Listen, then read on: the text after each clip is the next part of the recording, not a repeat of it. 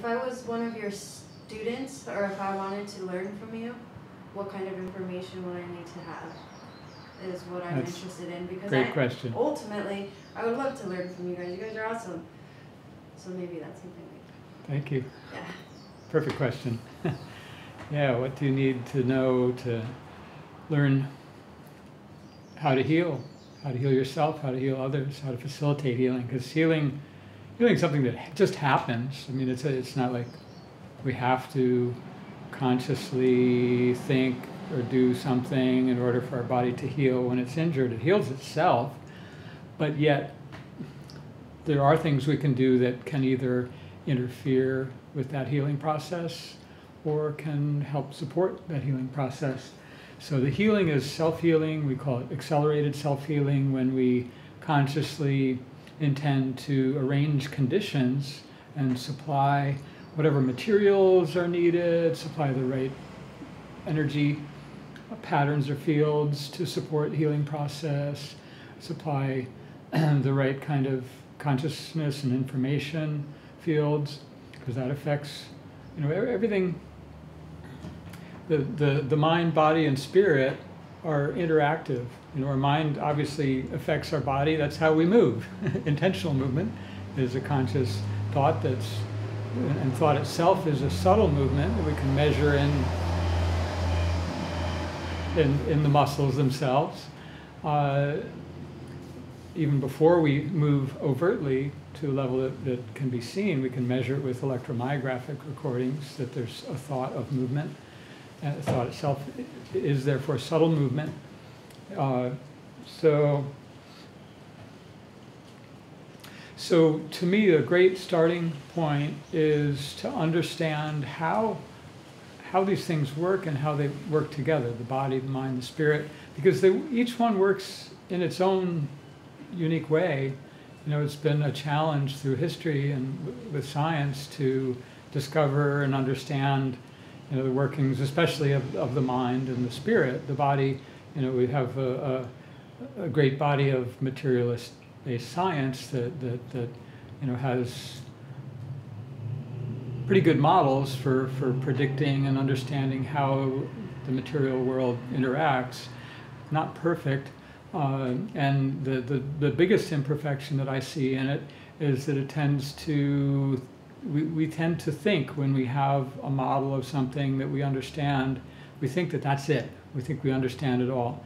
There's a tendency of the mind to not even see the things that we don't understand or can't uh, imagine or, or don't believe are possible.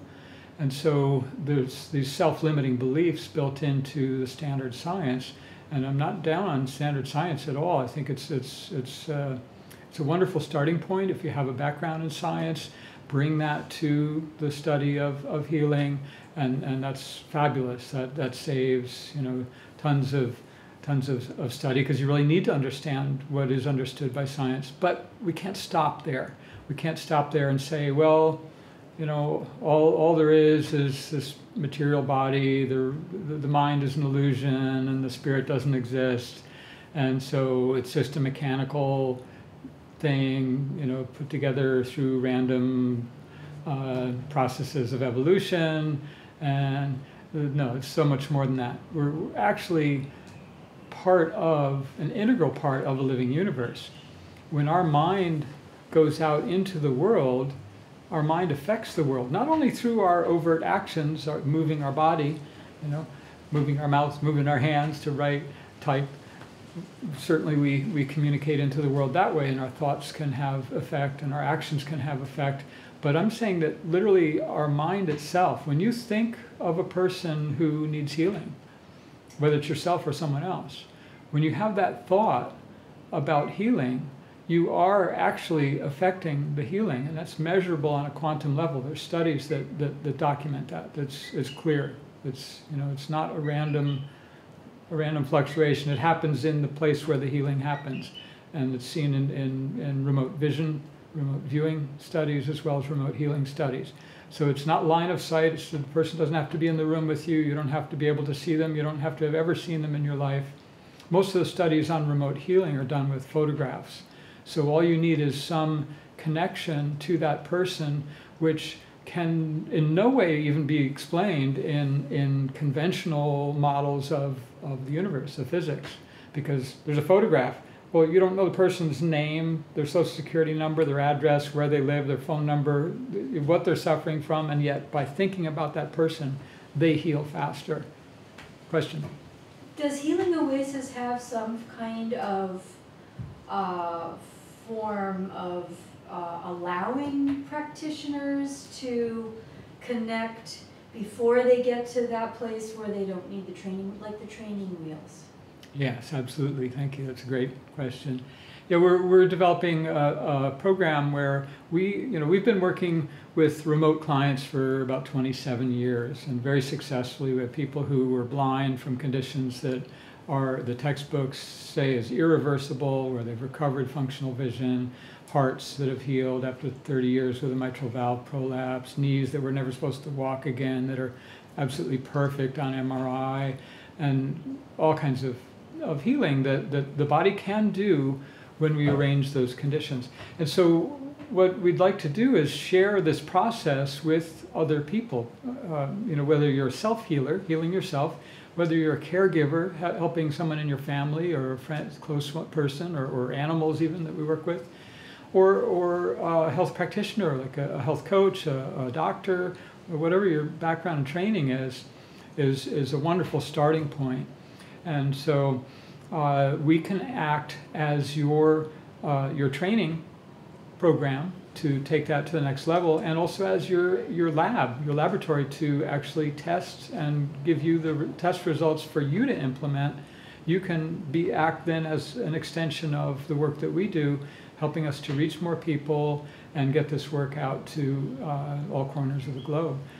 Again, we've, we've worked with people all over, the, all over the planet, never seeing them in person. We have multiple ways. We now have three complete different systems of, of remote testing uh, where we can evaluate in different ways, different perspectives, the energy system and responses of an individual person or even an animal. Um, and the, the real beauty of it is the results. that We see, in many cases, very rapid results, sometimes, and not, unu- not atypical. Sometimes we'll even see results with the testing process itself because the test is a treatment. It's a trial treatment where it's a probe to see what the therapeutic signals are. And so, in order to discover that, we have to actually send those ther- therapeutic signals, see, identify which ones are therapeutic, and, and now we've got that as a coherent thought form of you know that's actually been already responded to. And we see that in animals and in, in, humans uh, so it's not a it's not a placebo effect. Uh, it's you know it's often something that people don't don't expect and we don't expect doesn't happen in every case. We just had had that happen uh, recently with a chicken. You know after the test the chicken's doing better before the remedies arrive through the mail. How is that? But you know, fortunately, the the, the, the caregivers, the people, the, the, the mom and dad of the chicken in this case, are both health practitioners, a doctor and, an acupuncturist, and so they they're familiar with, with these concepts. They they understand it. They know that. So they ask, is it you know, is this like a radionic treatment that's happening already? It's like yes, absolutely. It's biocommunication. And so we're communicating all the time. All our thoughts have effect. So we want to really guide and direct our thoughts in, in positive ways. And it doesn't mean just, oh, being positive about everything and saying positive things, even if they're not true. It's, it's more in the positive direction is, is the truthful direction you know, when, when you identify something that's not so nice, you know, like say an illness, a, a symptom, a disease, when you identify an issue or a problem, uh, that's the first step in healing. If we deny that the problem is there, you know, if I maybe I'm alcoholic and I deny that I have a problem with alcohol, I'm not healing. But as soon as I can identify with that and say, yeah, I have I have an issue there. I, I, can, I can now imagine, I create an image of myself being different than I am now, that I could be better. Now I have a direction, there's a vector, there's an energy, there's a possibility of change. So, uh, and you know, most, most people are, are by human nature, Our nature is, in most circumstances, most people will tend to avoid change. We're more comfortable with what's familiar, even though it's uncomfortable. But I call it our familiar discomfort. Two out of three people will stick with the familiar routine that they're, even though they're complaining about it, even though it's not comfortable, whether they're complaining about it or just suppressing it, aware of it or not aware of it, but we'll stick to our patterns. But it's the one out of three, if you shift into that one out of three category, or if you're naturally in that category, it's more likely for you to be listening right now, that you choose to change, you choose to grow, you choose the challenge, you, you face the challenges that come to you. Uh, when we embrace life's challenges, that's when we grow, that's when we learn, that's when we heal. So healing is really about growing in the face of past accumulated damage or past accumulated toxicity, just healing that we haven't completed in real time in the past, we still carry with us. And we can unravel and let go of those burdens progressively through accelerated self healing. The reason is that we're always having things thrown at us in life, but if we're facing them, resolving them, moving forward to the next thing, and, and have a little extra juice, we're going to apply that to healing the past, to, to taking care of the unfulfilled healing of the past that's still carrying along with us as a burden, as an anchor, dragging. And so, so it's really, it's the flip side of, of, of that coin is, is personal growth, spiritual growth. When we're facing life in real time and, and looking forward and ahead to the possibilities and potentials, because the future is not yet determined. There's, there's, there's likelihoods, there's potentials, there's possibilities, but that's a broader scope. That's a broader range of possibility that we can navigate into and have choice in versus the past that's already done and, and apparently fixed. I say apparently because it's the appearance of being fixed from our point of view here now. I have this one moment now, this one perspective now to look to view the past and I see it a certain way. But you know what? I can I can change that too ultimately by changing my perspective, by healing something in my past, by seeing it in a new light. I can change change that from being an anchor that holds me navigating, you know, like pulling that I can drag that anchor in one direction or another, but if I can let go of that anchor, I'm so much more free. I can I can transcend that apparent restriction of a timeline that I was on, that I felt like I was on, where oh it's always going to be exactly this way. Suddenly, I'm free to to really take my life in new directions or to new levels, uh, and be free of the, of that burden. So the beauty of it is when we let go of those burdens, when we heal the past, we don't lose the gift. The gifts are what we develop in ourselves by facing our challenges, by healing. Uh, right. The healing process. You know, one of the one of the really the best way to begin is through personal experience. As you, as a healer, heal yourself, you gain in in, in multiple ways. One, of course, the benefit of just healing, of being a healthier person, but that also gives you more flexibility to heal others, to resonate in different modes with other people. We have some courses, we have many books, we have DVDs, we have lots of videos, we're making more, we have websites that we're working on. Um, so, so there's lots there that is structured, but the overall plan is really, at this point, more individual. individual. And, and that's a reflection of how we work with healing as well you know, it's hard for us to to come to a, a, a agreement on a structured plan and say, here's how it's going to be for uh, learning how to be a health coach. We'd love to train health coaches. If you're interested in health coaching, we would love to train you. How does that look procedurally? Well, I, in my mind, I have to start getting more specific, which is what, what you're asking me to do, and say, where do you live? you know, because if you live on the Big Island and you can come to Hilo, then we can work one on one in person. We can work in, in group if you have you know with with you and a client of yours together, where you can bring a person in who you're working with their healing, and we can again be work as your energy lab and and help you you know learn the processes that we're, do, we're doing to test. You can learn how to operate the computerized ones. You can learn how to do the manual kinds of testing uh, in that way which is great. And yet i also there's no reason for me to limit the program by saying oh, you're in, you know, on the mainland or you're in some other country, you have to come to Hawaii to, to study and learn with us. It's just not, not the case. You know, over the years, we've worked with lots of people who had interest in, in, in healing and learning through the process of working with us, with their families usually.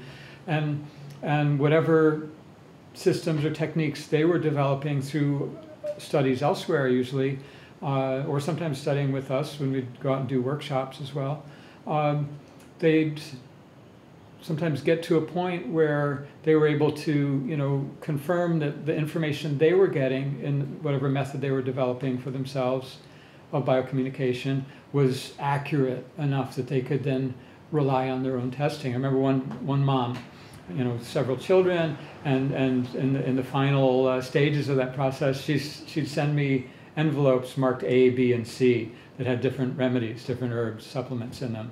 And she wanted to know, well, you know, how do these test on, you know, this daughter or whatever.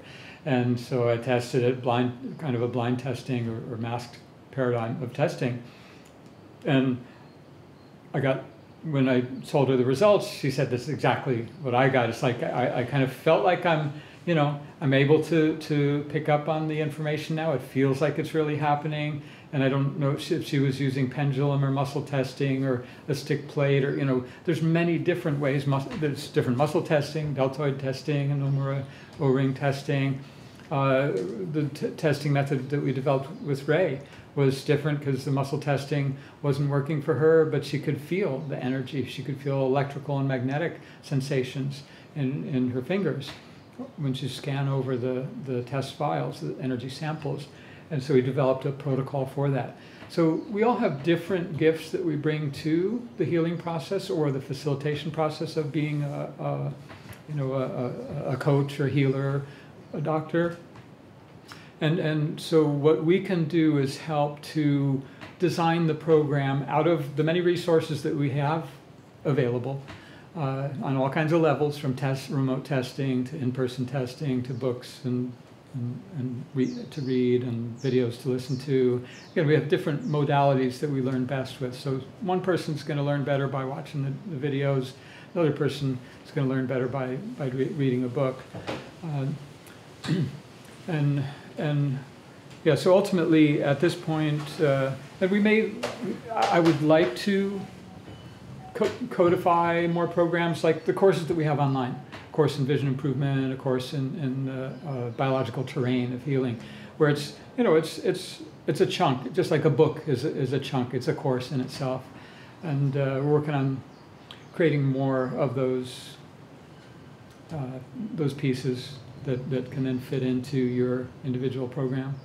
But we're happy to to work with you individually on your own healing, the healing of the people around you, where you can learn how to interface as a health coach, or if you're a health practitioner already, where we can set you up with the the uh, the technical materials at a, a, very low cost compared to buying the whole systems that we have.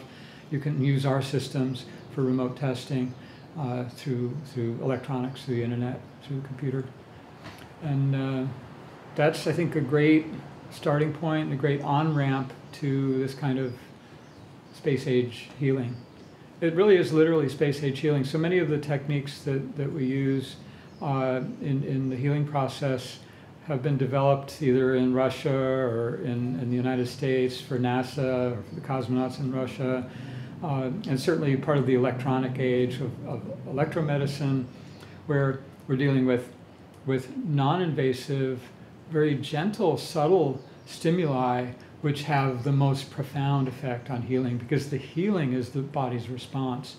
When you, when you, uh, you know, when, when you, when you hit the body hard with something, it's, you know, you do damage. Uh, and so you can, you can impair a function. You can block pain by doing TENS. You hit it hard with electricity, uh, with transcutaneous cutaneous electrical nerve stimulation, TENS devices, very common. Uh, but they don't promote healing, they actually slow down the healing because they overwhelm the nerves and stop them from sending the pain signal. Where what we want to promote is microcurrent, it's like a thousand times more, more gentle, and yet it, it's a gentle signal, and then it's not overwhelming the body, it's triggering the body's response, and that response is a healing response. That's really the key to, to understanding how we work. It's why many of the remedies that we use, herbal remedies, nutritional supplements, most of the time I'd say we're probably more often than not, we're using a, a lower dose than the labeled dose, than the, than the, you know, the full therapeutic dose of that in, in a more, uh, say, you know, uh, uh, conventional metabolic therapy type of approach where we're doing something chemically to the body. We are with you know a nutrient. We're supplying a, a building block, but we recognize that there's cascading effects, and that the way that we identify that that particular nutrient is an effective medicine has nothing to do ha, has something to do, but but but is not not dependent on the chemical structure of that material being present in the body. It's actually a signal, it's a communication, it's an energetic signal that triggers a cascading response pattern in the body in which shows us which measurably shows us the body is going into a state of coherence.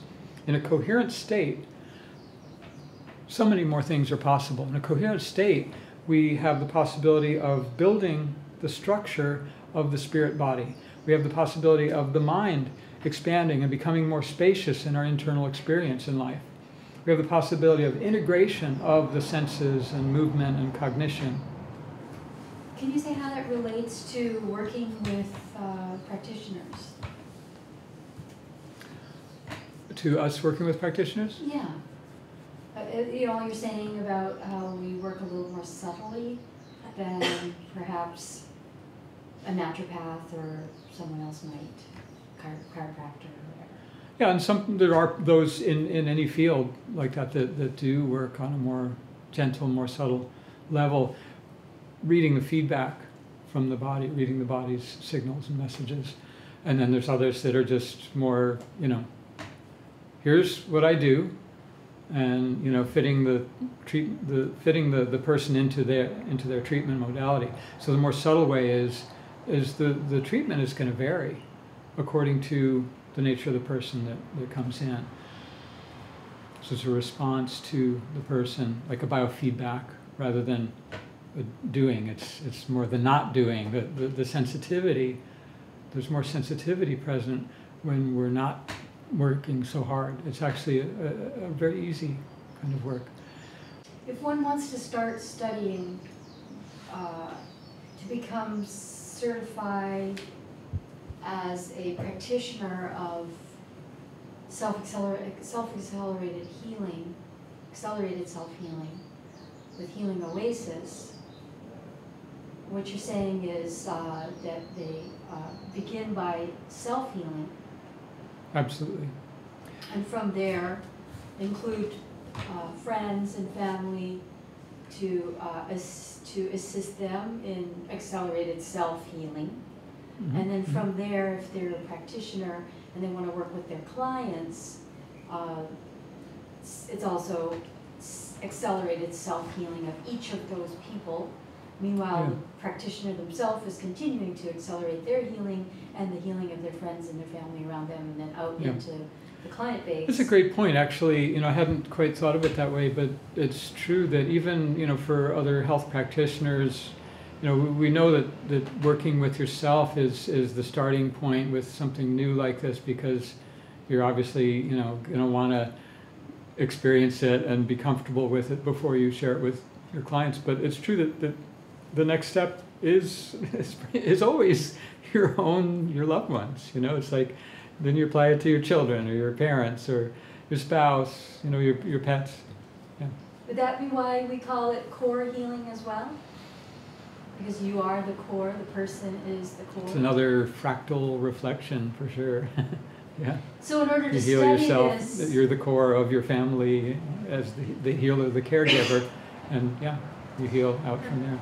And that's that's crucial. Sometimes you know there's like I was saying, there's those choices, choice patterns of choices that we can make that avoid healing, and that we can fall into that as a caregiver sometimes, or as a practitioner where we don't take care of ourselves. You know, the cobbler who has no shoes. Um, I trained, I did, I did a series of trainings where I trained practitioners to do the, the hands-on electron, electrodermal German diagnostic electroacupuncture type of testing, and, and there were people who, who did for years, you know, for decades practice you know, that I trained that way. So I have that experience, and I was trained by different organizations to be able to train other practitioners in, in those methods. And now we have these other two additional methods, and my own method that I've trained Ray in, for example. Um, so um, you know, th- there's really, really the two basic, two most basic levels would be a health coach type of level of certification, where it doesn't necessarily have to be a person who has training as a health practitioner, but they have a calling to be a healer. Uh, maybe they're doing some kind of healing, but they're definitely, in any case, they're interested in learning how to help facilitate other people's healing. And they don't have to become licensed as a health practitioner. They don't have to necessarily learn how to do all of the testing that we do because we can act as their laboratory for that. But what they are com- committing to is learning how to work with a person to help support them, facilitate their healing process uh, using the, the kind of thinking, the methods, the, the systems, and, and the, the model that we've developed at Healing Oasis. And so that draws on on all the different levels that we'll talk about, you know, from, from the physical, the body, the chemistry, to all the way to the spirit, which has its own chemistry, it has its own body, its own nature, and the mind and the energetics, like the electronics of the meridians and uh, all those different functions in between that, that, that make it all work, that are interconnected. Uh, so, so, so that's what we'd be training you in is understanding those systems and how to, you know, how we test them, even whether or not you uh, learn to become a tester, you have testing capability at your, your fingertips by being able to uh, call on us in our laboratory as your resource for that client. And what's the other one? You were saying. And then the other is, is for health practitioners, somebody who is licensed to do health, work in the health field. You know, it might be a nurse, it might be uh, a massage therapist, it might be a chiropractor or a medical doctor. So, uh, you know, whatever your field is, you're going to be working within your field, but now we will train you in how to apply our systems within that field. I was an eye doctor, so I was applying it in my own practice uh, for healing. You know, in this system, we don't just heal eyeballs. You don't just you can't just heal an eyeball. An eyeball never walks in saying says heal heal me, you know. but people have eyeballs and they can heal their eyeballs and but not independently of healing their brains or healing their the digestive system or circulatory system or all these other systems that that make the eyes work and make vision work. So, so depending on what your expertise is, your field of expertise as, as a health practitioner, that's the field that we're going to want to plug into this whole person healing support for you to help those people heal that aspect of their function that is your expertise. So, you know, if it's a chiropractor and you're working with the spine, it's like, yeah, great. The, the spine needs circulation, it needs digestion, it needs you know the, the mind and, and spirit to be working properly along with the actual you know integral function of the, the physical spine itself um, and so that's that's a little bit different approach because you already have the technical knowledge the scientific knowledge that's wonderful background because this is a science-based model. It's an explicit model of consciousness and of spirit that's based in science. It's not it's not a just an idea. It's it's based on actual research and actual actual knowledge, and uh, but integrating that knowledge. The, the, the real problem in our culture is the the the the separation of all these fields. You know, if if you're if you're a doctor, uh, you know, you work with with the biology and the chemistry and, and the physics of the body, and yet there's a lot that is known now in, in even in those fields that hasn't, you know, hasn't find, found its way to the clinic floor. For one thing, all, all the money is, is on drugs and surgery. There's how much money is spent researching, uh, you know, mind-body healing. How much research is money is spent on on investigating the the physical nature of of your immortal spirit vessel that is your that holds your consciousness that that survives the death of the physical body you know if as long as we're treating people or parts of people in our specialty fields as if the physical is all the material body the bio, bio body suit is all there is. You know we're treating eyeballs. It's we're, we're going to miss the, the the most important points of healing. Healing is about the spirit. It's about growth. It's about development of our consciousness. It's about expanding who we are and, and, and how we understand ourselves and our, our mission here in this life and, and our true nature that transcends space and time and, and this lifetime a short, brief lifetime on uh, what's been called the womb of heaven. You know, we, we look at our life in, in utero, in the womb, prior to this life, as a short period and, and limited functionality. You know, yes, there's, there's consciousness, there's vision, there's, you know, there, there's, there's functions of the mind and spirit, but we tend to, to uh, downplay those. I think they're more important than we think.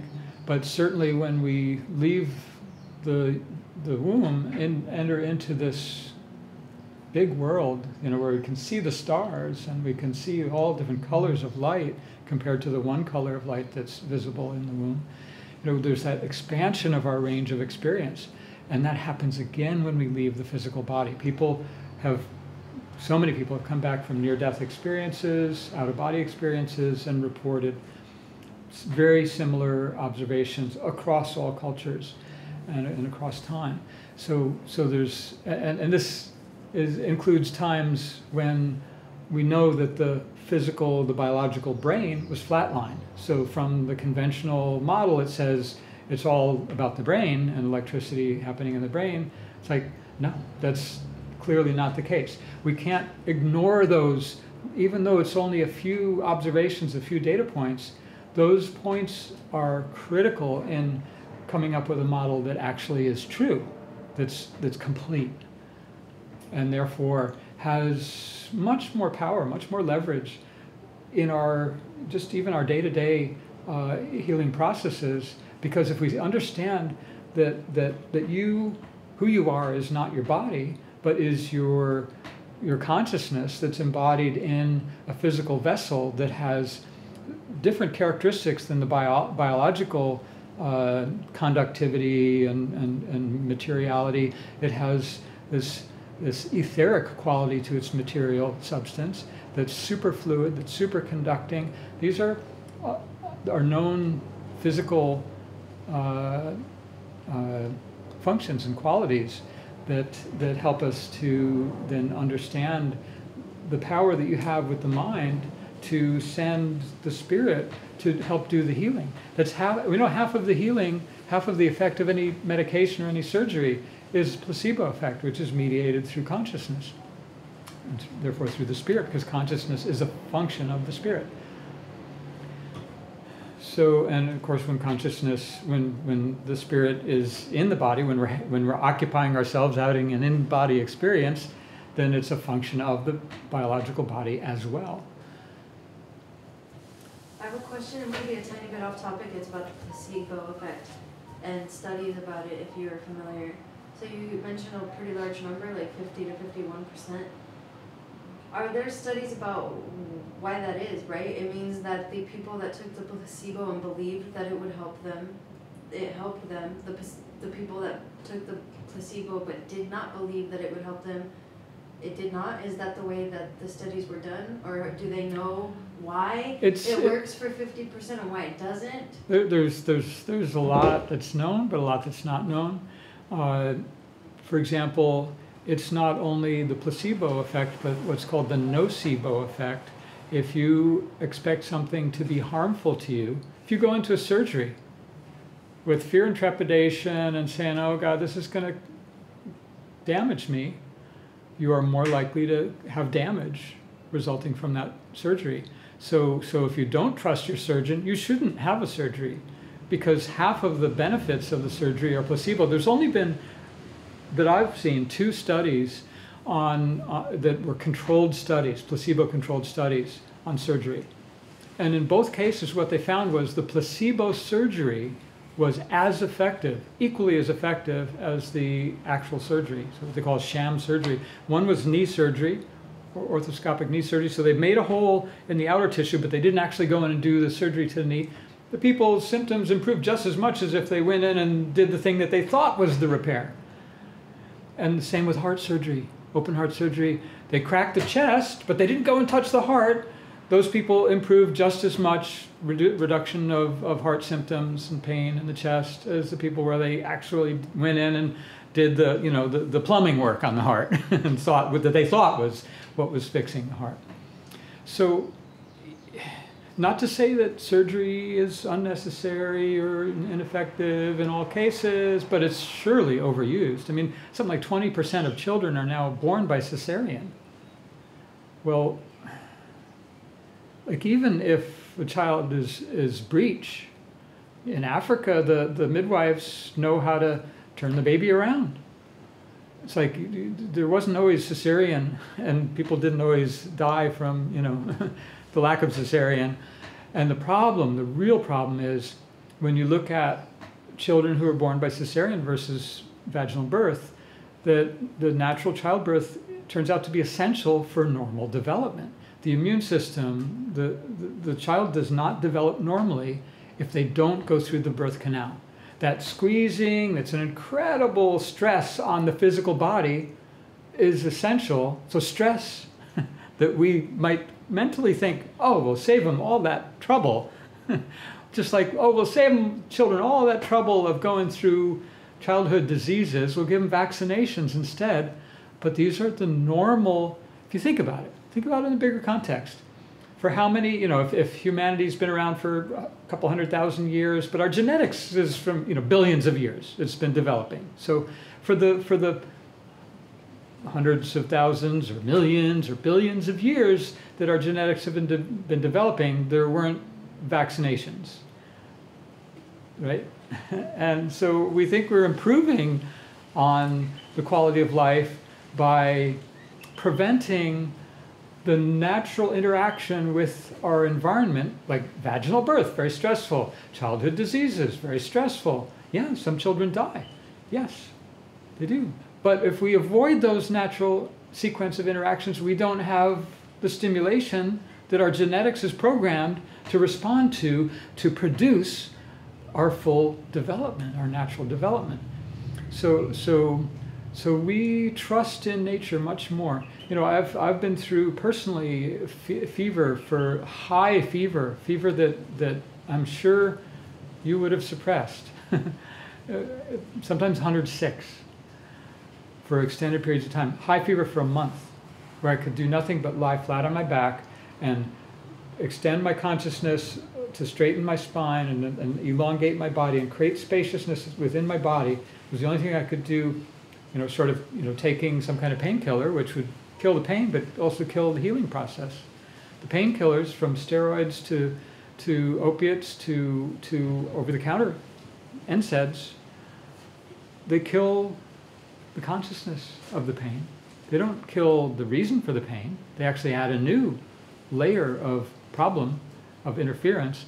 They over alkalize the tissue, they turn it back to a gel from a sol where the body's trying to dissolve and clean out, and put it back together and say, no, no, don't clean that out, just patch that up as it is with this extra toxin in there.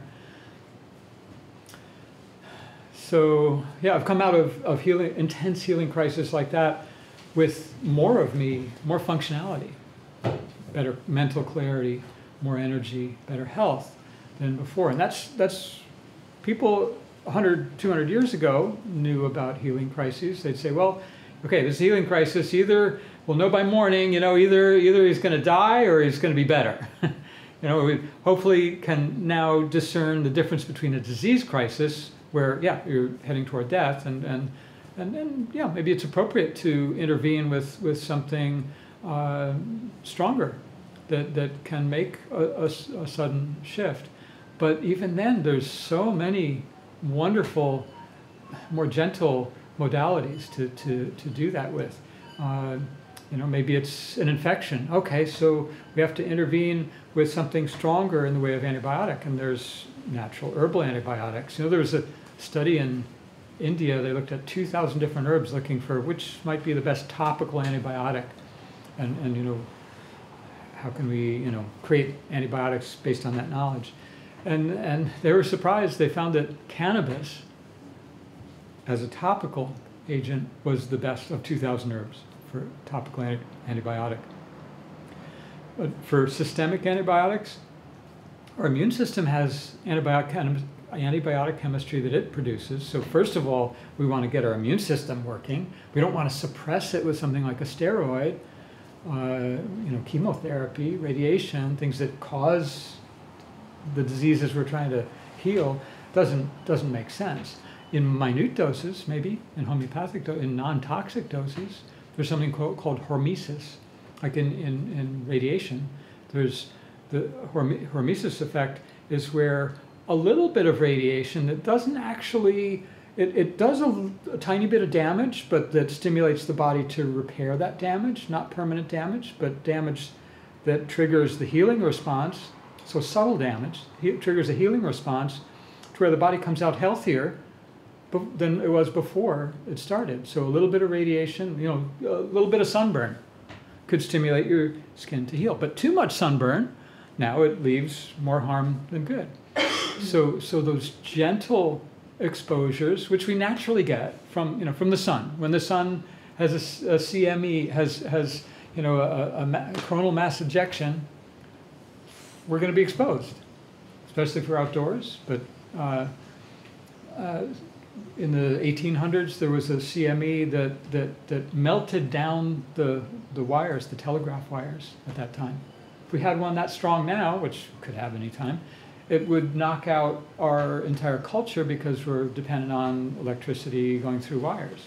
It doesn't make sense to bring sick people together into one place as we do in our clinics and hospitals. Yeah we know now that, that that's the sor- that's the source of the worst diseases we have called nosocomial infections. The worst infections are hospital-borne infections. It's, it's part of what we call iatrogenic or doctor-caused disease. Just like when, when, when Semmelweis proposed that doctors were killing people by carrying pathogens on their fingers from the morgue, from dissecting cadavers to, to the birth birthing clinic in the hospitals at that time, and doctors said, no, that's not possible. We're, we intend to heal, and that's our, our you know, clearly our, our full intention, and therefore there's no way we can cause disease. They didn't understand. It took a new generation of doctors that, that came up open to the idea of, of, of pathogenic organisms and, and that washing the hands would be a good idea, and it didn't, it didn't affect their ego so strongly because they wouldn't have to accept that maybe they've contributed to people's death and of death of mothers and children by by transporting the disease vector from from a dead body. So so hospitals are you know one one out of three people who go in a hospital come out with a new disease. Sometimes it's it's a nosocomial infection. Sometimes it's other iatrogenic disease. You know, but uh, that's it's a very dangerous place. So there's really the, the best place, what we call healing oasis, is your home. Your own home is your healing oasis. And so that's our focus is yes, you can come here and we work with people in person, but it's not for acute illness. That's not the, the, the point of what we do is to, you know, help you learn how to support yourself or your family through those times of acute illness, but more importantly, how to improve your health to recover from the chronic illness that's maybe not even symptomatic. You know, people who get a diagnosis of cancer are usually surprised. They, when we see them, they say, "How could this happen to me? I was the healthiest person I know for 20 years, or even 25 or 30 years." Some will say, "I didn't even get the flu or a fever when it was going around." Well, we re-educate them to understand that that is because their immune system has been so weak for those 20 or 30 years that it hasn't been cleaning house. Having a fever, a flu, is not the enemy. Having a vaccination against that is damaging to our immune system. It's suppressive. We know if we get too many vaccinations, uh, even too many allergy shots, it suppresses the immune system. We go into what we call phase one terrain, low energy terrain. This is hundreds of thousands of patients measured over course of years, getting healthier, getting sick in European biological medicine. So the data is there, the physics is there. We know it's more fundamental than even the chemistry is the physics of the body, the energy, the Nernst equation, the, the protons, the photons, the electrons. That's what we call the terrain, the biological terrain. So helping you progress in your biological terrain, which sometimes means going through a healing crisis. A person who comes out of the cancer zone and into the bacterial zone of phase from phase one to phase two will often go through a high fever and a healing crisis. Often it's just a few days, but in 3,000 cases on record in the medical and scientific literature, in every case they had a bacterial infection. So is bacterial infection, you know, we call that a disease. What is disease? If it's if a disease is a cure for a worse disease like cancer, if a bacterial infection is the cure for cancer, then what does it mean to say we have a disease? Do does it mean we have to get rid of the disease? Or is disease, do we go from a worse disease to a better disease? Would we rather have allergies or cancer? Allergies happen in phase four, cancer happens in phase one. So we want to transform the nature of our diseases, which is just our symptoms by a fancy name. We put a Latin name on it, but it's really hepatitis. It just means inflammation in the liver. So it just means swelling, redness, heat, increased acidity. It's a function, a functional shift off balance in that particular organ. Now, there's also homeopathic vaccination, which is non toxic yes. and does stimulate the immune response. So it helps to stimulate the immunity and the normal development of the immune system without injecting a toxic load of not only the path, toxic level of the pathogen, but also the, the, the uh, sometimes mercury or other, uh, other adjuvants, other additives that they put into the, the vaccinations, into deep tissues of the body with no, it's an injection so the body doesn't have an immune memory of how it got there and how to get it out. If it goes in intramuscular, that's in the deepest tissue layer, which is embryologically the same layer that produces the kidneys, and so can create some really deep issues. Uh, the, the nervous system in particular has problems getting things out because it has no outlet.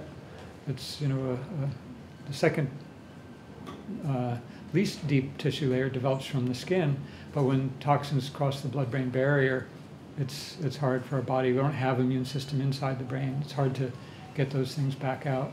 So we see, uh, well, like the the awareness that's now coming to light that in fact the government knew over decade, well over a decade ago, that that uh, that vaccinations were causing an increase in in in uh, autism. That's you know it, it's it's clearly clearly known now, but they suppressed it.